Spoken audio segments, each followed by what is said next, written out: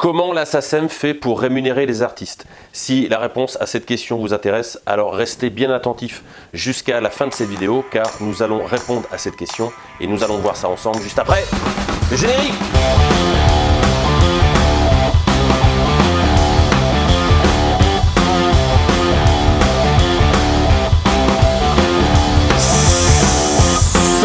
amateurs de bonne musique et bienvenue dans un nouvel épisode de DWX Music, la seule émission dédiée aux jeunes artistes en devenir et souhaitant vivre de leur musique.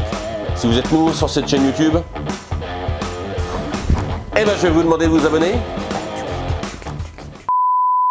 Dans une précédente vidéo, je vous ai expliqué ce qu'était la SACEM. Vous pouvez retrouver cette vidéo juste ici. La SACEM, pour résumer, gère et administre les droits des créateurs et des éditeurs de musique. Dans la partie créateur, vous avez les auteurs, les auteurs qui écrivent les textes de la musique, mais également les textes d'un poème, les textes d'un sketch pour les humoristes. Vous avez les compositeurs qui est celui qui va écrire la musique.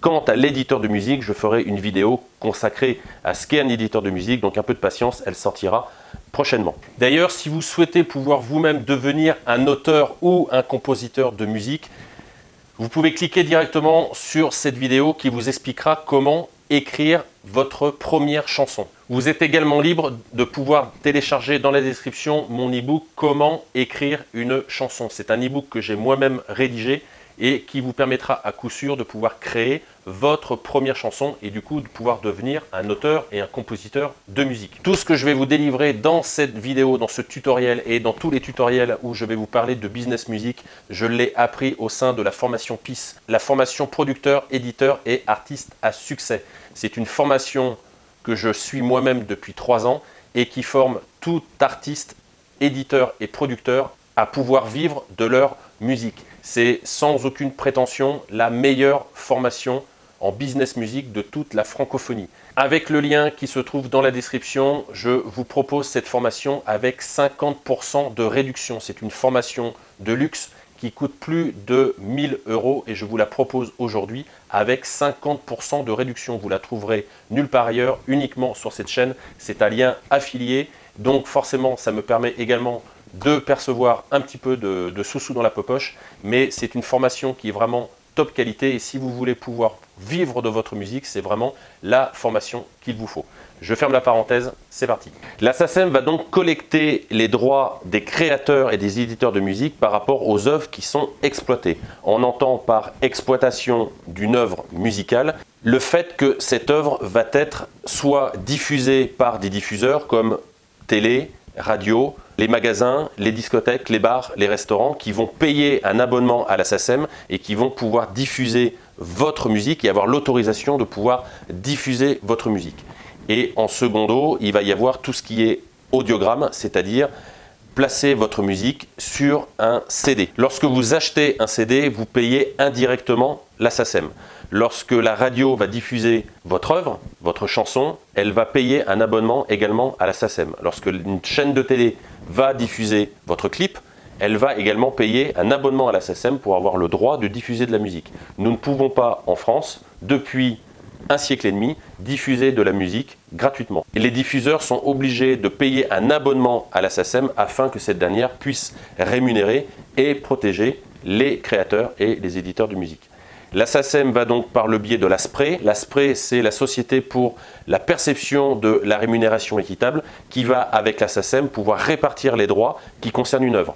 La elle, va s'occuper de la partie auteur, compositeur et éditeur de musique. L'ASPRE, elle, va s'occuper de ce qu'on appelle les droits voisins, c'est-à-dire les droits d'interprète et les droits qui concernent les producteurs de phonogrammes. Il est obligé d'avoir une séparation entre les deux et les deux vont travailler de pair et les diffuseurs vont devoir payer des droits à la fois à la SACEM et des droits également à l'ASPRE. Pour tout ce qui concerne les droits voisins, je ferai également une vidéo consacrée aux droits voisins car l'on peut percevoir des droits sans pour autant être un auteur, compositeur et éditeur de musique. Donc j'en parlerai directement dans cette vidéo. Il faut savoir également que la SACEM a euh, signé des partenariats depuis 2007-2008 avec toutes les plateformes de streaming et également avec YouTube.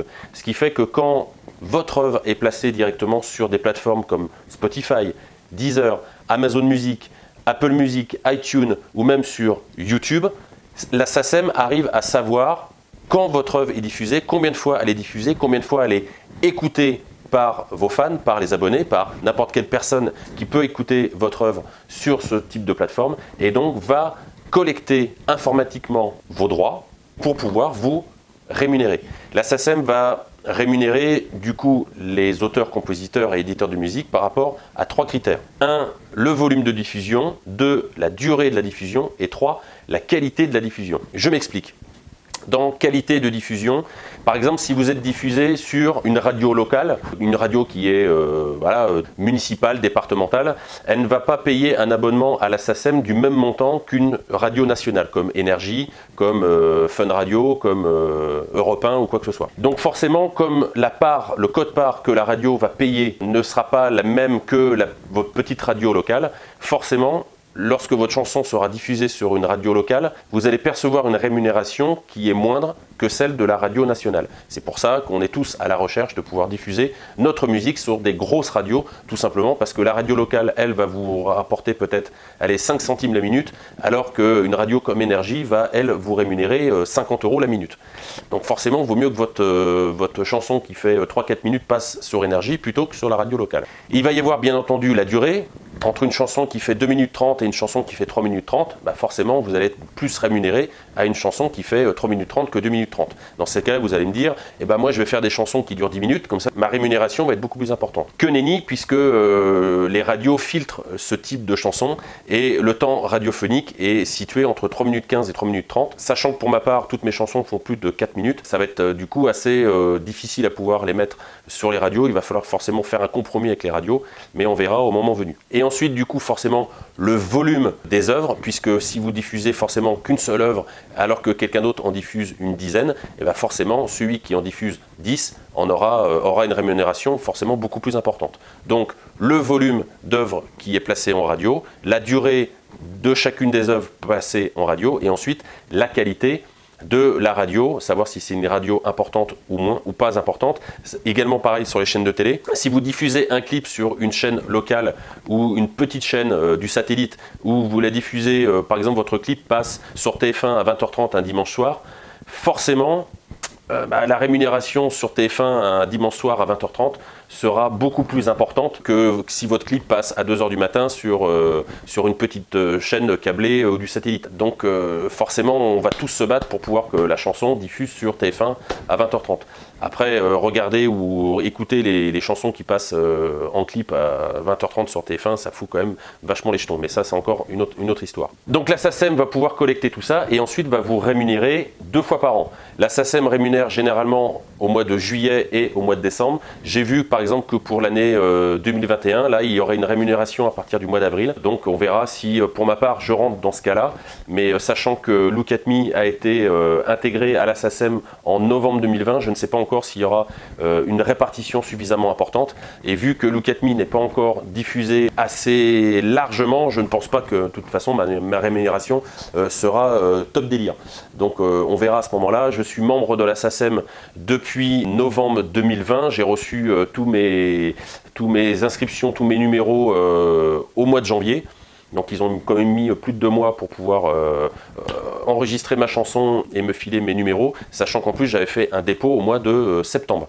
Donc vous voyez que ça prend, ça prend quand même du temps. Mais on verra dans la prochaine vidéo justement comment adhérer à la SACEM et comment pouvoir créer euh, sa clé de répartition, puisqu'il y a ça aussi qui rentre en compte dans la partie rémunération, c'est si vous êtes tout seul à faire auteur, compositeur, éditeur de musique et qu'en plus vous êtes le seul interprète de votre chanson, ben vous allez tout recevoir à 100%, bravo pour vous. Par contre, généralement, ce n'est pas le cas euh, de la plupart des artistes. Forcément, il y a plusieurs personnes qui vont travailler dessus et on va voir justement cette partie-là, cette partie de clé de répartition qui va du coup, qui va empiéter sur la rémunération lors de la prochaine vidéo, lorsque je vous montrerai comment adhérer à la SACEM et comment déclarer son œuvre directement à la SACEM. Voilà, lâchez-moi un pouce bleu si vous avez apprécié cette vidéo, repartagez cette vidéo un maximum autour de vous afin qu'un maximum de monde connaisse l'existence de DWX Music. Lâchez-moi des commentaires, j'y répondrai avec grand plaisir. Abonnez-vous à ma chaîne YouTube, cochez la petite cloche de notification et en attendant de vous retrouver de l'autre côté, je vous dis ciao